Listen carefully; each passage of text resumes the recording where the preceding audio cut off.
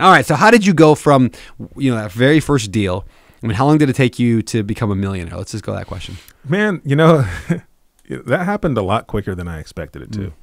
Um, and I think that's more about I got really, really good at finding good deals. And so the things that I did end uh, s- t- two things, right? There's two things you need to grow and scale a real estate business, right? You need deal flow and money flow.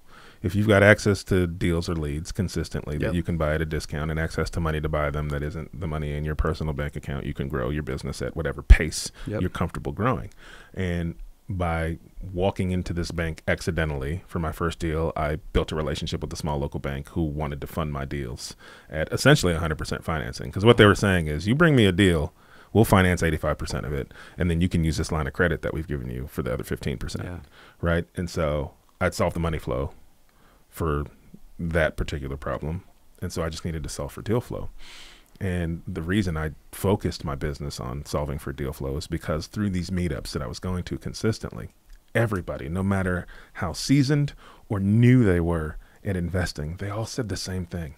Uh, I'm a real estate investor. I want to buy some deals. I just can't find anything to buy. There's no there's no good deals left out there. And this was back before it was as Yeah. hard as it is now, Yeah. right? Like, and so I, I that was the problem I felt like I needed to solve. Is if I can find a way to find good deals consistently, at a minimum, I'll have a room full of people here who will want to buy them off me, and so I'll I'll know I'll be able to make money. And so I just focused my business on acquisitions, on on finding deals. I I I think every book I read when I first got started from a real estate perspective was about wholesaling, not because I wanted to wholesale, but because wholesalers are the people who are good at finding deals. And Yeah. I was like, I'll just model my business after them, and then I'll keep everything. Yeah. Yeah. It's funny. It's like uh, finding. I mean, people. We buy. We know people who are buying hundreds of houses a year, hundreds and hundreds a year, and so like if the deals are out there clearly. Yeah.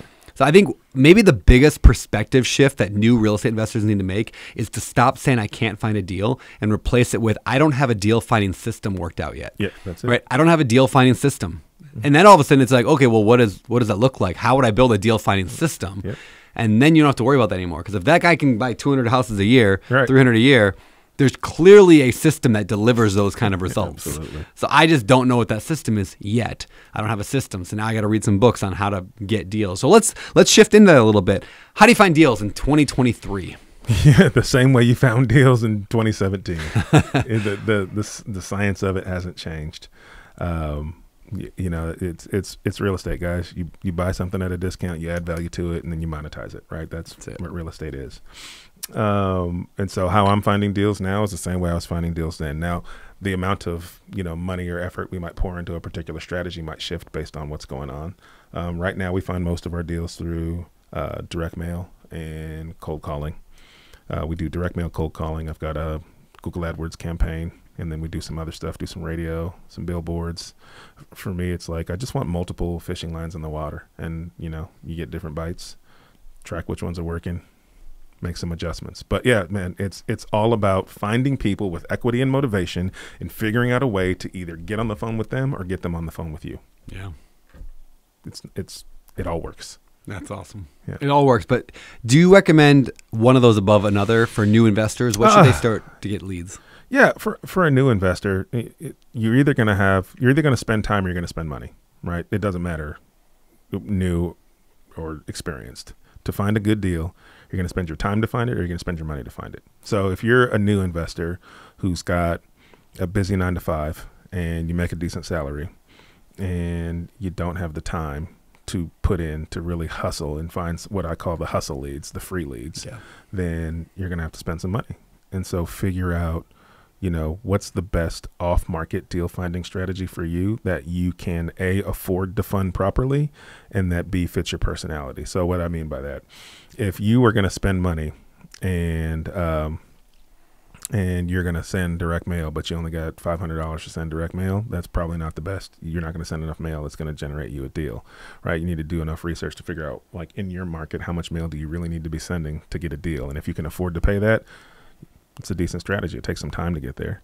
Um, uh, so look at your budget and figure out what strategy you want to use, and then relentlessly, consistently pursue that strategy until it yields a result. If you are a person who doesn't have the money, but you've got the time that you can put into the hustle, there's tons of free places to get leads. It's more about are you going to do the work, analyze every lead that comes across your desk, make offers on every deal that comes across your desk, and then follow up with those sellers or those agents. Like that's where the real work is. Like people get leads all the time. Like a wholesaler will send them something or an agent will send them something and they'll go, "Ah, oh, it's probably not a deal." And then they don't do anything with it. Well, did you really analyze it in depth?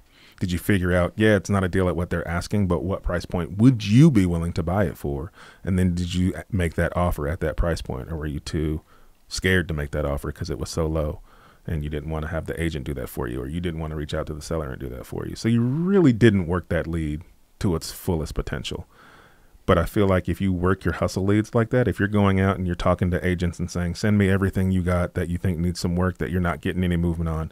Send me all your send me all the expired listings. Send me everything that's been on market for longer than the average day is on market." And sit down and literally analyze every single one of those, find out what's the price you would be willing to pay for it, even if it's $150, 200,000 dollars less than they're asking, and then submit that offer anyway most people don't want to do that because 99% chance it's going to get rejected and they feel like it's a wasted effort. But mm. if you're going to hustle and find leads, that's the kind of work you have to do.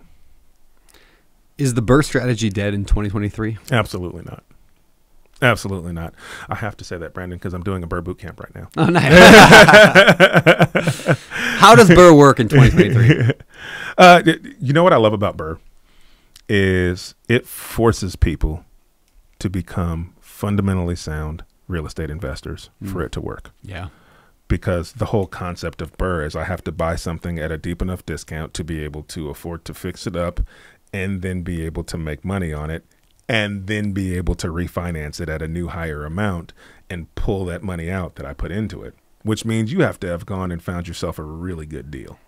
Um, but buying really good deals is the foundation of real estate investing. Yeah. Like you can't make money in real estate unless you're good at finding deals that you can monetize. Yep. And and so is it dead? No, it's not dead. It's harder. It's harder, especially if you're not going to build the systems and put in the work to analyze and make offers on the volume of deals that you need to in order to produce a result. So, said differently, in 2017, you can analyze maybe half the deals you have to look at now and come up with a couple, two, three, four good ones that you could BRRRR out of. No sweat. Interest rates were lower. Um, prices of homes were less. You could get yourself a pretty decent deal fairly easily compared to now. Now, you're going to have to analyze twice as many. You're going to get rejected twice as much. You you have to buy at such a deep discount that it's going to be a lot of work to get to that BRRRR deal. And I also think people need to be okay with not burying 100% of your money out. Yeah. Like if you can find a BRRRR deal and get half of your money back, that's pretty amazing. Yeah. that's pretty amazing. It still allows you to grow and scale.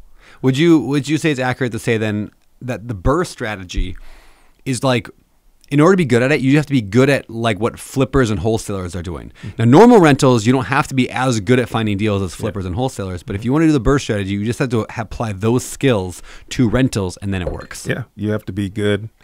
You have to be essentially be as good as a wholesaler at mm-hmm. finding your deals. Yeah. And then be able to find the money to take them down, and then yeah. you can get your money back out. It's just it's just harder now, but it's not dead. Yeah. I think it's forcing people to learn how to go and build those systems. Because you know not everybody wants to have 100 doors brandon or you know yeah. they, they, don't they don't want to have that kind of a business. And so they would say well i don't want to put that kind of work in to find a deal that works. And now the system or the industry or the market is telling you well you got to put a little more work in now. And those who are willing to put in that work yeah can absolutely find a BRRRR deal. And those who want it to be a little easier are going to have to be more creative with their exit strategy